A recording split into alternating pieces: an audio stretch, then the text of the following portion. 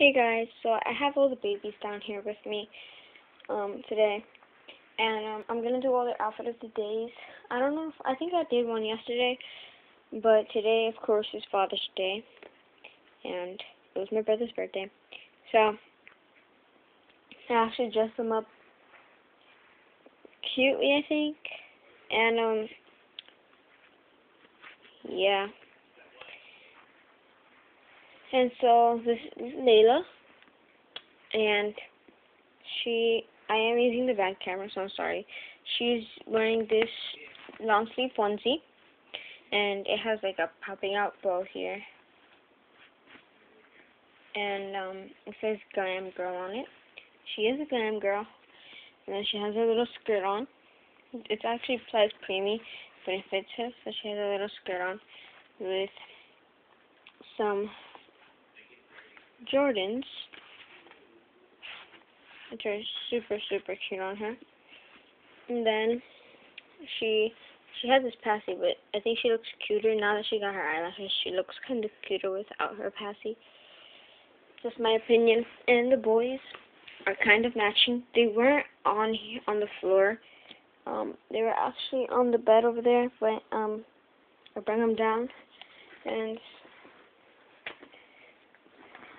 little baby Austin. His hair is a mess, but he's wearing the part the passy that came with this pack, and he's wearing this uh jumper. No, yeah, something like that. Um, long sleeve, and it says Brave 01 little brother.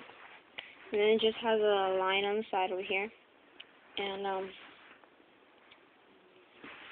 yeah, and then he has this pacifier clip says Junior Varsity, and with this, it's actually his passy, but you know, with this um pacifier, Dr. Brown, and then he has this cute little romper, and it just says number one, oh one, and he's wearing this blue Dr. Brown pacifier with a long sleeve underneath, no socks, or barefoot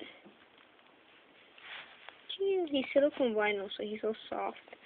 And then, last but not least, and it was really, really hard me changing these babies all together, but she is wearing this puppy dog romper, and um, she has her Converse All Stars, and um, she has this pacifier. And then she also has this one that she can use.